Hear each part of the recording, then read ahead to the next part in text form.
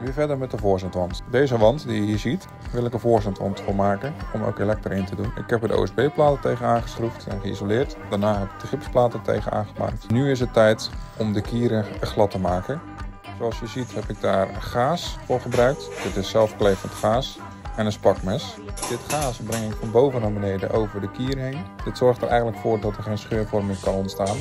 Vervolgens druk ik met mijn spakmes het stiepsel in de kier en trek ik hem daarna in één keer van boven naar beneden glad. Dit herhaal je eigenlijk een paar keer. Zorg ervoor dat je zo min mogelijk hobbeltjes en bobbeltjes hebt, want dit moet je allemaal weer schuren. Dit proces herhaal je eigenlijk nog een keer totdat jij vindt dat de muur glad genoeg is. Hierna gaan we door met de elektragaten te boren, maar dat zie je in het volgende filmpje. Dat was hem weer. Groetjes.